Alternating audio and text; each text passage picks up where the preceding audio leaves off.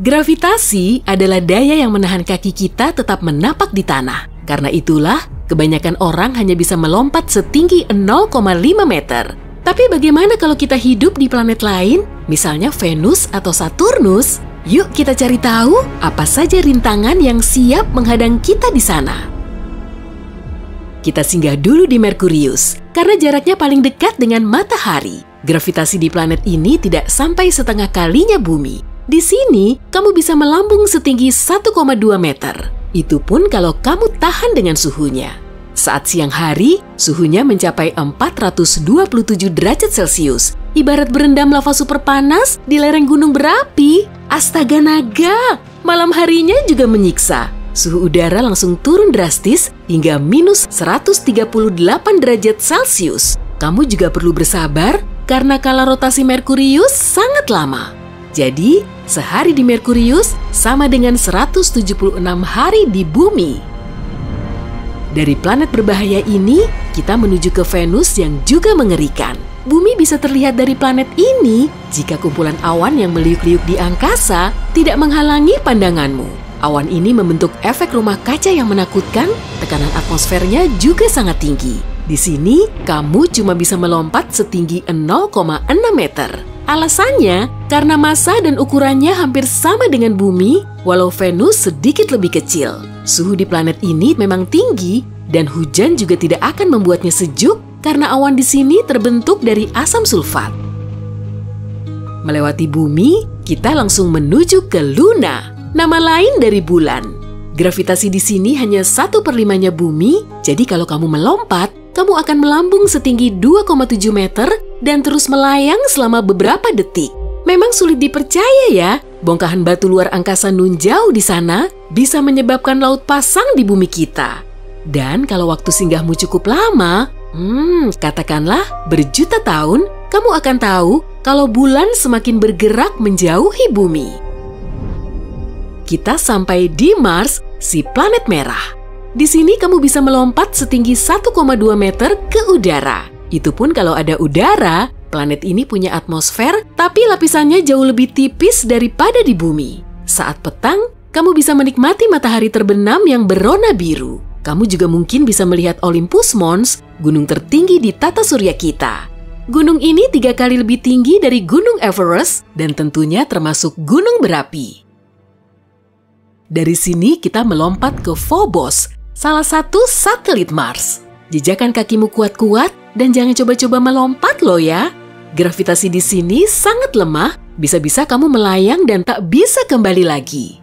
Ukuran Phobos jauh lebih kecil dari satelit planet lain di tata surya kita, karena hanya seukuran asteroid besar. Jarak satelit ini ke planetnya juga hampir 100 kali lebih dekat dari jarak bulan ke bumi. Suatu saat nanti, satelit ini akan menabrak Mars dan hancur berkeping-keping. Para ilmuwan meyakini saat itulah Mars bisa punya cincinnya sendiri mirip seperti Saturnus. Kita menuju ke objek luar angkasa yang super aneh, Ceres. Asteroid terbesar di tata surya ini memang super jumbo hingga kemudian diklasifikasikan sebagai planet kerdil. Letaknya hampir di tengah-tengah Mars dan Jupiter di sabuk asteroid. Kalau melompat di sini, kamu bisa melambung hampir setinggi 16 meter, lalu perlahan mendarat kembali. Masa Ceres juga tidak main-main, yaitu sepertiga dari masa seluruh objek di sabuk asteroid. Lanjut ke perhentian berikutnya, Jupiter. Planet ini berupa gas raksasa, sehingga seluruh permukaannya tidak padat. Kamu tidak bisa melompat di sini. Tapi kalau kamu masih ngotot, lompatanmu akan setinggi 0,2 meter. Jupiter 10 kali lebih besar dan 300 kali lebih berat dari bumi. Jadi, gravitasinya sangat kuat. Di permukaannya juga terdapat badai yang telah mengamuk selama setidaknya 4 abad. Semakin lama, badai ini semakin mengecil. Meski begitu, saat ini bumi masih bisa muat dimasukkan ke dalamnya. Sampai di Ganymede, satelit terbesar milik Jupiter. Wujudnya padat kok, jadi kamu bisa melompat di sini kira-kira setinggi 3 meter. Ukurannya lebih besar dari Merkurius, tapi masanya jauh lebih kecil. Jadi ya, gravitasinya lumayan lemah. Ganymede diselimuti lapisan es tebal dan intinya berupa logam cair. Inilah yang membuat medan magnet di sini cukup kuat. Selanjutnya, kita pergi ke Saturnus, gas raksasa terbesar kedua di tata surya. Ukurannya sedikit lebih kecil dari Jupiter dan bisa memuat 9,5 bulan di dalamnya. Namun, planet ini tidak begitu berat. Kalau permukaannya memungkinkan untuk dilompati, kamu bisa melambung hingga 0,4 meter. Hampir setinggi di planet kita. Saturnus terkenal akan cincinnya yang terbentuk dari partikel debu dan es. Partikel ini berasal dari serpihan objek luar angkasa yang hancur akibat saling bertabrakan. Planet ini berputar pada porosnya dengan kecepatan tinggi hingga bentuknya berubah hampir lonjong. Satelitnya ada 62, kalau ditambah 5 lagi, jumlahnya akan sama dengan satelit Jupiter. Yuk kita jelajahi salah satunya. Kita lanjutkan saja perjalanan ini ke satelit terbesar milik Saturnus, Titan. Kalau melompat di sini, kamu akan melambung setinggi 3,3 meter. Atmosfernya beda dari biasanya karena berat dan sebagian besar terdiri dari nitrogen. Akibatnya, permukaan Titan terlihat berkabut. Belum lagi, hampir seluruh permukaannya tertutup es, tapi lapisan bawahnya mengandung bebatuan. Diperkirakan, air berada jauh di dekat intinya. Yang paling menarik dari permukaan Titan justru kriovolcanonya, atau gunung yang menyemburkan es Iya, beneran es, bukan lava.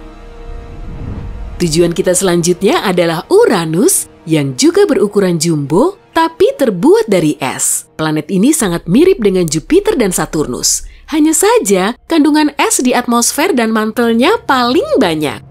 Nah, kalau kamu melompat di sini, tubuhmu akan melambung setinggi 0,6 meter. Suhu di Uranus juga paling rendah di antara seluruh planet di tata surya kita, yaitu minus 277 derajat Celcius. Itu sih lebih dingin dari nitrogen cair. Kamu bisa langsung membeku. Brrr.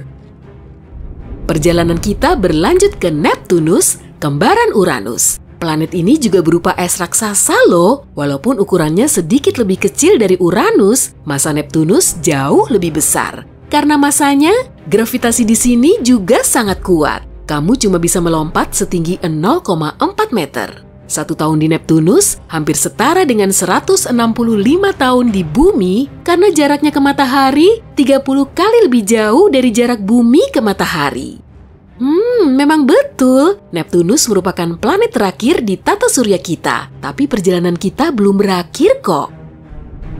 Kita tiba di Triton, salah satu satelit Neptunus. Gravitasi di sini tidak terlalu rendah, jadi dalam sekali lompat, kamu akan melayang setinggi 5,8 meter. Triton merupakan satu-satunya satelit yang bergerak dalam orbit retrograde atau orbit yang berlawanan arah dari planetnya. Permukaan Triton juga unik karena terdapat kantel lobe terrain bentuknya mirip dengan melon. Selanjutnya, Pluto yang sunyi, sepi, sendiri. Dulu menjadi planet ke-9 di tata surya kita, tapi sekarang cuma berstatus sebagai planet kerdil. Gravitasinya sedikit lebih lemah dibandingkan gravitasi Triton, dan di sini kamu bisa melompat setinggi 7,6 meter. Pluto tidak bisa disebut planet karena ukurannya sangat kecil, bahkan lebih kecil dari kebanyakan satelit lain, termasuk bulan. Atmosfernya sangat fluktuatif. Saat jarak Pluto lebih dekat ke matahari, es di permukaannya menguap jadi atmosfer. Tapi saat jaraknya menjauh, lapisan gasnya menghilang. Huff. Dan inilah perhentian terakhir kita, Eris. Planet kerdil ini sering keluar masuk sabuk Kuiper. Lebar sabuk asteroid kedua ini 20 kalinya sabuk asteroid di antara Mars dan Jupiter. Kalau kamu mau melompat di permukaan Eris, tubuhmu akan melambung setinggi 5,5 meter. Karena objek inilah istilah planet kerdil muncul.